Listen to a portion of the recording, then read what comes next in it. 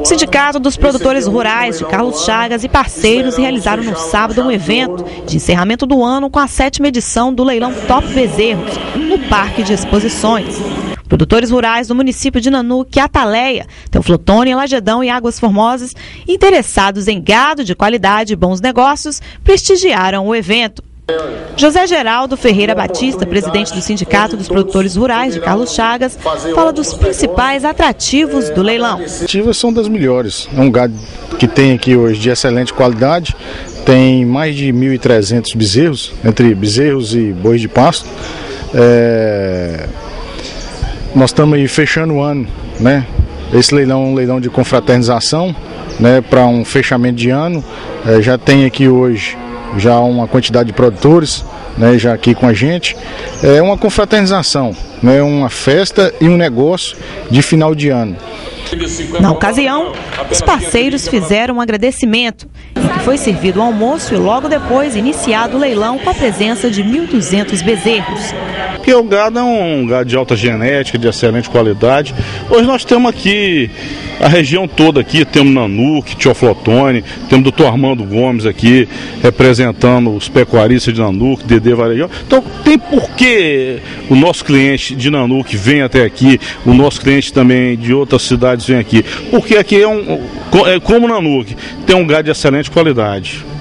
O sindicato hoje é uma empresa que tem demonstrado um crescimento é, significativo, é, tem trazido grandes benefícios para a pecuária de Carlos Chagas, tem incentivado a atividade através dos leilões, através das parcerias fixadas com empresas como a Sopec, Covan, Cicobi, todos os bancos de Carlos Chagas. E isso tem trazido um benefício muito grande para a pecuária de Carlos Chagas. O desfile do gado, de excelente qualidade, aguçava as propostas dos compradores. Os melhores lances concluíram as vendas dos animais. O leiloeiro Luciano Viana ressalta qual é o perfil do evento.